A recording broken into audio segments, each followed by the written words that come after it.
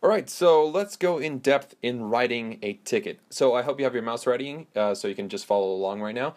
But a bit of a precursor before I totally dive in like crazy. Let me remind you guys that you guys are in control of this video. So this is a video recording, so don't be afraid to stop, rewind to the part that you guys have stumped on or over, and then continue from then on.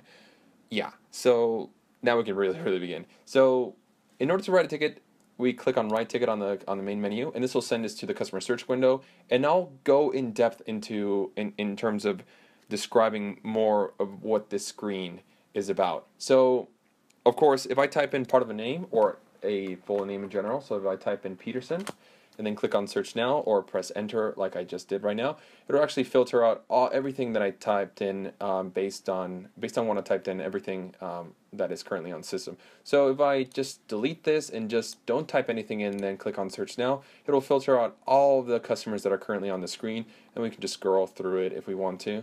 Um, this is a wildcard function box, meaning that we type in part of the name. So we type in pet for Peterson. It'll actually even increase um, um, more of it. So even even if we type in just PE, it'll uh, include everything, all the customers that have a PE in their name. So um, actually, this is a really good, good case scenario. What if I type in a customer that I know is not in the system? So what if I type in Francisca? It'll say no records were found. Try um, another search. Well, that's because the specific name is not in the system, or at least the system doesn't really recognize what we typed in, meaning that we have to add this customer. Um, yeah, so we have the ability to actually add this customer in the screen actually, but so instead of actually canceling the screen, go into the customer button and inputting their information separately, we can add them without leaving the screen. So we have the ability to just add the customer using this button up above and inputting the only two entries that are required for customer to be in a system, which is basically um, the customer name and then the account number. So for the customer name, we'll just type in test, followed by comma, Francisco. And for the account number, I'll just type in some random number, um, like that. And then once we're done, we click on save and click OK. And we'll go back to the search window because we, let's, let's search for this customer again uh, test. And now we have the ability to do two options in terms of writing a ticket. We have the ability to write a ticket, a regular ticket, or a quick ticket. A quick ticket allows for the customer to bring in the items, drop them off, and then leave quickly. We immediately we immediately just write the number of items. So we type in like five, click on save and print, and and we just simply forget. I mean, not like literally forget, but the customer can come in and then forget till the next time they come in they can pay for the items. They can pick uh, when they pick them up. So these items will be sent to the pickup window. Um, yeah. So all you need to worry about is adding the items in separately. It sort of just makes for a speedy transaction for on, on, on the customer's behalf. And I'm just gonna not put anything in right now. And um, now the the part that you guys been waiting for, which is write a regular ticket. So I'm just gonna click on write ticket and I'll I'll go over the same thing that I went over on previous videos, but with a little bit more emphasis on on the on more functional buttons. So let's start with the customer information. At any time, you can see what customer you're currently working on. So I'm working on Francisco Test, and we can see it up above, as well as their account number, and then down here as well. You can check the last time they've been in here, and then the amount of, of, of, of money they spend for a year total. Right now, we don't have anything because we currently made a customer um, from scratch. But if we have another customer, um, I won't really do that right now because I'll be diverting as well. Um, we can see this number appear as well. In the middle, we have the items belonging to the respective classes. So if we want to want to filter out through dry cleaning, we can see these are all the uh, dry cleaning items or household items, as well as laundry.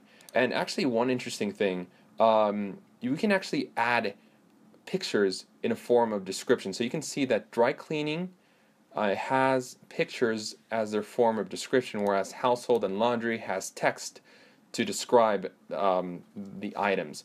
And so you're probably wondering right now, how do I add my own items? Well, once you have control of your own system, you can delete these items and classes and add your very, very own, as well as importing in pictures as well. And all of this will be explained in a later video. So down below, uh, let me just go in on dry cleaning. So down below we have the easy and quick upcharges divided by colors and fabric down below. And on the right, which doesn't really appear right now, it are the optional upcharges which will be displayed once we select an item. So let's go ahead and do that. Let's add one item. But before I do that, um, let me show you a, a, neat, neat trick. So you see this blue number one right here? That number one is basically um, um, a default built in the system. So if you want to streamline your your process of doing one items at a time, you don't need to click on one every single time. This is this will appear uh, e immediately um, uh, by default. So if you want to do more than one item, you can click on more than one item or do multi digits. But for again for a streamlined action, we don't we don't actually need to click click one. So let me just sort of demonstrate that. Let's add one item right now. So let's go ahead and do uh, one shorts. So see how it, it actually appends everything up above. So it'll be refreshing as well as the total. So one short at one dollar. So actually, before I forget, we have forced upcharges on any given items, they will show up in the middle. So let's add another item so that we know that our forced upcharge. I know that a forced upcharge, so we click on on on where is blouse. There it is blouse. And once we click on blouse we will be prompted in the middle with the with the forced upcharges meaning that we cannot continue without clicking on a forced upcharge um, so I know that the blouse is silk. And once we click on the silk it will be appended here. So one blouse for four dollars for silk. This is vastly different from optional upcharges which are optional uh, forced upcharges, on the other hand, are forced. So, and speaking of optional upcharges, let me demonstrate that. What if we, let's just add one skirt. Um, where can we find skirt? Am I missing it? I am totally. Yeah, let's add one skirt. And what if we need to sew a button onto that skirt. Uh, we actually have the optional upcharges right here on the on the right. So if we add a add a button to it, it would append it as well as add that initial additional charge. Now there is another way to approach this. Um, if we want to add optional upcharges, we have the uh, buttons called upcharges right here. So if we want to add upcharges to let's say this short and click on on upcharges, we are prompted to this same screen that looks like upcharges, but uh, you can add as many upcharges as you want. Um, one, two, three, as many as you want. As long as when you're done, you click on exit upcharges. So I'm just going to click on so another button actually um, onto exit upcharges, and that'll append it onto the last item onto this ticket. So moving on, at any time you can select that any line and um, change a price, change the quantity, or simply just uh, remove the line. So we can actually remove these shorts, um, remove the shorts, uh, or we can change the price on the blouse. So we click on change the price on the blouse. So from $4 to let's say $5. Click OK and that'll be refreshed.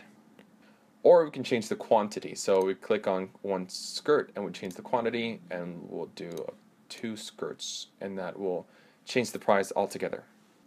We could always do an open item. That means that the item that they're bringing in uh, is not currently on the items below. You can either click on the other or click on the describe and price if you have that. Uh, it doesn't really matter, whichever is more convenient for you. But remember that when you click on describe price, um, so we add a description. Let's add an ugly sweater, sweater right now. So ugly sweater with a price of $3. Oh, nope. Let's not do $30. And click OK. Uh, one actual noticeable difference is depending on what class you're currently on, it will uh, the the the describe and price will be added onto that selected class. So you can see that once we added that one ugly sweater, it actually made a D for dry cleaning. So if we wanted to do a laundry item, so describe and price of an, a laundry item, let's do another ugly sweater. I don't know how to spell. For $2 under laundry it'll actually add an L for laundry down here as well. We could also add UPC codes if we want to, so if you have any over-the-counter items such as coffee, snacks, lint rollers, etc., uh, you can actually enter it right here, or you can do that manually. Um, I won't do that now since I don't have any UPC codes right now. And the last two things I want to in in my agenda that I regarding this video is the redo and rush buttons. The redo no charge is when you either made a mistake and are asked to reprocess the item again in the store, possibly because of a stain. uh, wasn't clean before and, and needs to be redone. So simply highlight and click on the redo, and then it'll do um, that. will cancel the price to zero, and then ask to be redoing it. And for rush, it will indicate that this item needs to be rushed, and then add an additional charge based on the the amount that you set up on the store. So if I click on skirt and make that rushed, it'll make it rush and add an additional 40 cents based on, I think on uh, was it 50 cents? I'm not so sure how much it added. Uh, of course, when we're all done, we can click on Save and Print once we're done, and then click on Continue. Um, uh, and this will allow us to click on the pickup and delivery date. The system is set to the next available date, which is um, two days from now, actually. We can always change that preference under Store Manager, which will be explained in a later video. So I'll just go ahead and click on the 16th, click Select, and that'll send us to this print window per se. It's not really the print window, but we can print the print um, tickets through here. Uh, so let me just go over more of these buttons. So at any time you can select the date and change the date that uh, we previously selected onto another. We could add coupons in the form of dollar and uh, percentage amount or we could ask, also add a custom coupon. So let's add a $2 coupon and that'll filter down here below. So that's a $2 and now that reduced the price to a subtotal of 850 All your taxes and environmental fees and any prepaid um, uh, payment and all the total due as well as the piece account will be added here always. So let's go ahead and remove this coupon. So um, clear coupon from right here and that'll go back to the same thing. So if your store policy requires that the customer pay beforehand, or if the customer chooses to pay beforehand, you can add a prepayment here, and the money like that, uh, and so we add, um, uh, let's go ahead and add a $3 prepayment with via cash.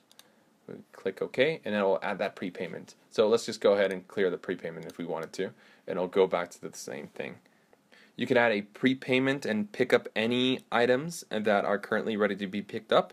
So after the prepayment, uh, you will be redirected to the pickup window, which I won't really do right now because I'll be diverted, but you have the ability to do that. You have also the ability to do a deposit uh, from the customer. This is actually like very vastly different uh, from the prepayment, which is which are commonly confused. So I'll spend a little bit of time um, talking about the differences between deposit and prepayment. So if your store policy requires a deposit from a customer, so let's say that to process some items that are quite difficult to clean, which therefore requires they pay an additional deposit, this is available for you via deposit. The reason why it's easily confused with prepayment is that there is an assumption that a deposit somehow subtracts from the total amount due immediately.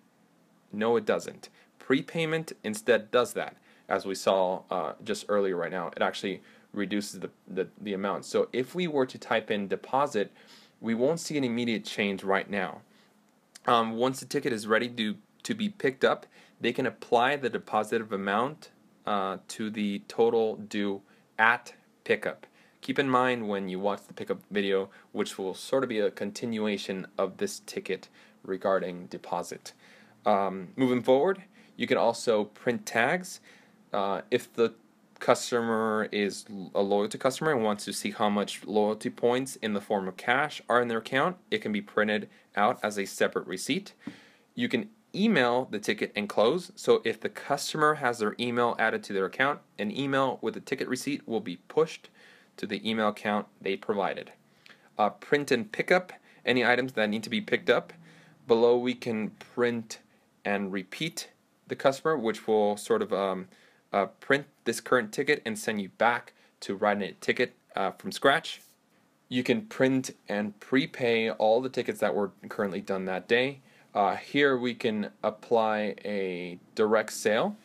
Uh, uh, we can apply a payment as a direct sale. So if you again have over the counter items or some kind of like futuristic device that cleans the items in less than a second, which by the way, if you do, please call me uh, then you can go ahead and do a direct sale uh, for these items.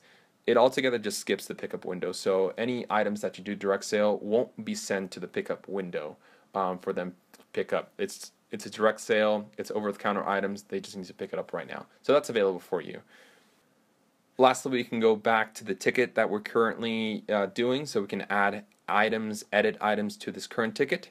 You can add, manually enter the garment tags that in, in these boxes provided above. Uh, you can print the ticket, uh, which will send it as a ticket receipt to the ticket printer, or save and close, which is what uh, which won't print print the ticket, but will save and close, which is what I will be doing right now. And that is it. I guess now that this video is over, I'm gonna give you an assignment, and that is to practice, practice, practice what you learned by adding a test customer, like I just did right now, and then writing a ticket for that customer we just added, and finally click save and close like I did right now once you're done.